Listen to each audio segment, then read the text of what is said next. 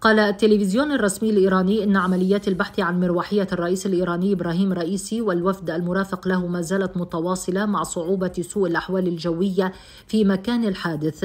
وبث التلفزيون مقاطع من عمليات البحث التي تقوم بها فرق الإنقاذ والإغاثة للوصول إلى مكان الحادث والمروحيات التي كانت تقل رئيسي والوفد المرافق له بمنطقة ورزقان الجبلية والوعرة بمحافظة أذربيجان الشرقية شمال غرب إيران. كما بث التلفزيون قبل قليل دعاء المواطنين في الأماكن الدينية البارزة في مختلف المدن الإيرانية لسلامة الرئيس إبراهيم الرئيسي والوفد المرافق له الذي تعرضت مروحياتهم لحادث أثناء عودتهم من تدشين سد مشترك مع جمهورية أذربيجان.